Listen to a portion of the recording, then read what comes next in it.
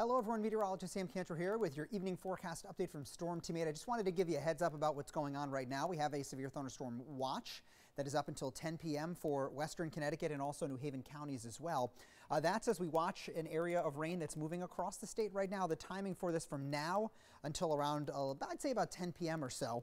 The threat for some gusty winds is certainly possible. Uh, tornado threat is quite low, but not a 0% chance, so we'll keep an eye out for that. It looks like the risk for us to get severe weather here in Connecticut is in the slight category, which is still considered to be uh, a little bit on the high side, high enough that we have to monitor this. Here's the hourly forecast as we head through the next several hours and we watch some showers and storms move through. What I can tell you is based on the radar that we had at about 645, this is a little bit overdone, which would be good news for us, but we'll still need to monitor this until around 10 p.m. tonight. So make sure you're staying tuned, uh, staying in tuned here with that. Overnight low temperatures tonight, by the way, get down into the upper 30s and we'll watch as this moves out of here. So uh, we will be monitoring this from now all the way through the late part of this evening. Stay tuned on the app and of course, if we need to on the air, we will break into our um, movie, which is the 10 Commandments this evening.